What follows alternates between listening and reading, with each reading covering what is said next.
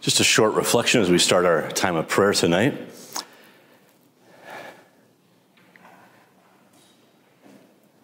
One of the greatest cries of the human heart is, That's not fair.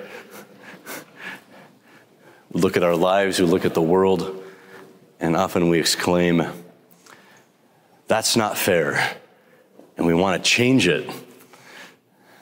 Sometimes our own hearts. We want to change our hearts. Sometimes we want to change our, our homes, our schools, our parishes, whatever it might be. And indeed, we deserve better many times than what we're offered in life. And we want to change. The modern world's fascinated by power, the power of uh, aggression, by changing things by force, by pressure, by influence, by imposition. But Jesus offers a different way, doesn't he? He changes things. He's, he's the one who changes things the most. And he doesn't do it through imposing himself or through the conventional categories of, of what we might call power. Rather, he does it by gentleness. He does it by gentleness. St. John the Baptist prophesies about the Messiah that a bruised reed he shall not break, and a smoldering wick he shall not quench.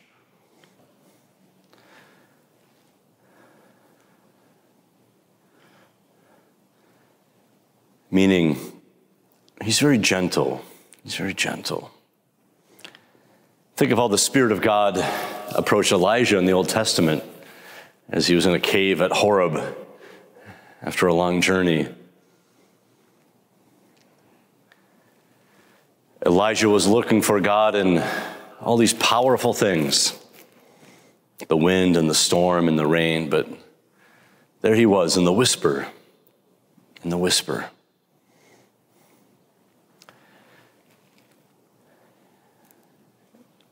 On the week of his triumph, Jesus enters the city of Jerusalem on a donkey, a very gentle creature, not a knight in shining armor, but a humble Savior in his gentleness. Indeed, gentleness is one of the greatest qualities of the heart of Jesus, is his gentleness. That's how things change in life. Some of the things that cause the greatest change are slow and, and gentle things. Think of a glacier on a mountain, or think of the trees and the, the plants that sometimes encroach on a, a road or someone's home or sidewalk. Very gentle, but very powerful at the same time. St. Francis de Sales, he was a great saint of gentleness. And he would say this there's nothing as strong as true gentleness, and nothing as gentle as true strength. We even look at the Eucharist tonight, how gentle is the way that Christ comes to us in the Eucharist quiet and hidden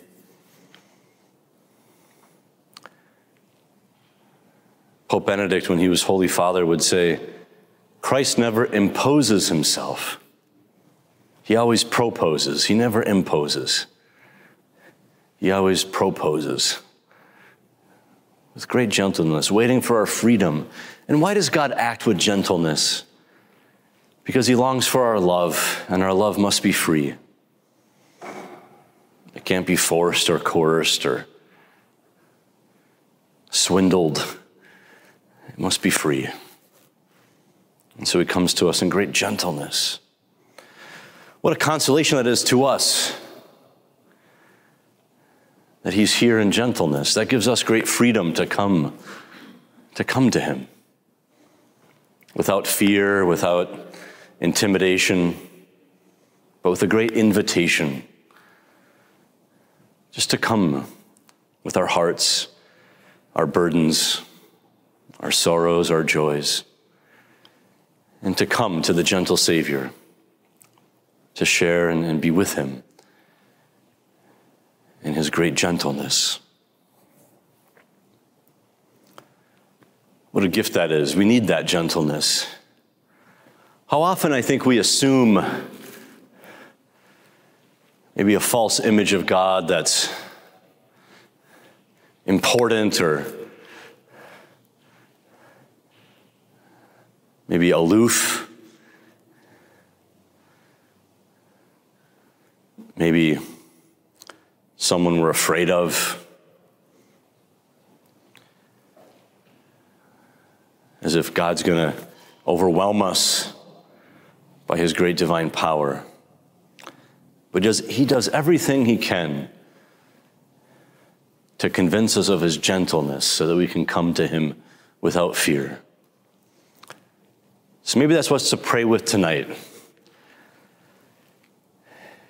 Is maybe ask the Holy Spirit for this gift tonight. Holy Spirit, come into my heart and help me taste and savor this gentleness of Jesus. Help me just to sense that and to abide in Him and His gentleness. One time, someone accused St. Francis de Sales of being too gentle. He was known to reconcile many people to the church with great patience. And, and they said, he was a, a bishop, and they said, Bishop Francis, you're too gentle. You're too gentle. And he responded, maybe with a little bit of cheekiness Well, I worship a merciful Father, a lamb and a dove. What else should I be?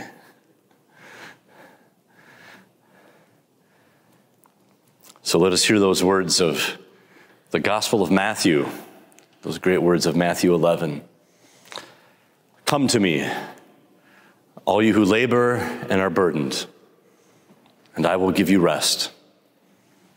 Take my yoke upon you and learn from me, for I am meek and gentle of heart, and you will find rest for your souls.